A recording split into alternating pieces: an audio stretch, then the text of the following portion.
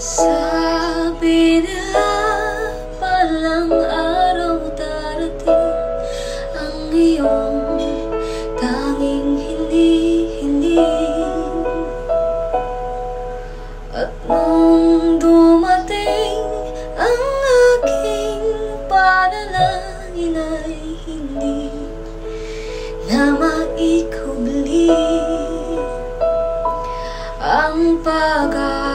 pag-asang nahanap ko sa iyong mga mata At ang takot kong sakali mang ika'y mawawala. At ngayon, nandyan ka na. Di mapaliwanag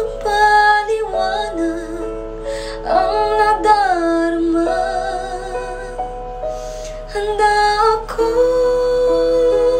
sa walang hanggan Di basahin, di ka sasaktan.